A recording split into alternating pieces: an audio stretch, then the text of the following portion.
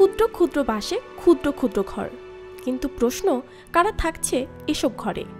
এক দশমিক এক আট মিটার লম্বা, তেরাশি সেন্টিমিটার চওড়া, তেপ্পান্ন সেন্টিমিটার উচ্চতার এক একটি ঘর, যেগুলোর জন্য ব্যবহৃত হয়েছে ষোলো হাজারেরও বেশি বাঁশের লাঠি, যাতে রয়েছে নয় হাজার সাতশোটিরও বেশি খাজ। কি মনে হচ্ছে? ভুল করে কোনো লিলিপুটের রাজ্যে ঢুকে পড়লাম না তো আবার? হঠাৎ দেখায় মনে হতেই পারে চীনা নকশার আদলে তৈরি এই ঘরগুলো হয়তো লিলিপুর জাতির কোনো রেস্তোরাঁ কিংবা তাদেরই কোনো দর্শনীয় স্থান। আদতে এর পুরোটাই মিনিয়েচার ক্রিয়েশন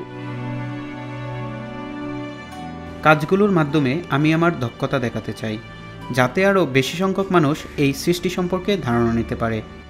নিজের কাজ সম্পর্কে এমন ভাবনাই জানাচ্ছিলেন এই কাজের শিল্পী ওয়াং ডায়াং। চীনের এক শহর জিনান যেখানে বাউতু স্প্রিং পার্কের আদলে ক্ষুদ্র এই পার্কটি নিজের স্টুডিওতে তৈরি করেছেন তিনি। মূলত পর্যটনের জন্য বিখ্যাত আকর্ষণ বলা হয় জিনানের বাউতু স্প্রিংকে। পরিমাপ আর অনুপাত অনুযায়ী একটা বাড়ির কাঠামো তৈরি করা সত্যিই কঠিন। ষোলো হাজারেরও বেশি বাঁশের লাঠি লেগেছে এই বাউতু স্প্রিংয়ের মডেল বানাতে। সময় লেগেছে বছরের অর্ধেকটা সময়। এক একটি ঘর এক দশমিক এক আট মিটার লম্বা তিরাশি সেন্টিমিটার চওড়া আর তেপ্পান্ন সেন্টিমিটার উঁচু। সত্যি বলতে এটা বানানো অনেক চ্যালেঞ্জিং ছিল। দীর্ঘ বিশ বছরের অভিজ্ঞতা রয়েছে ওয়াংয়ের ঝুলিতে।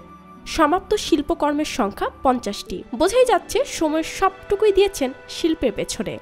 বর্তমানে তিনি ব্যস্ত আরও একটি মডেল তৈরিতে। অপেক্ষা আরও ছয় মাসের।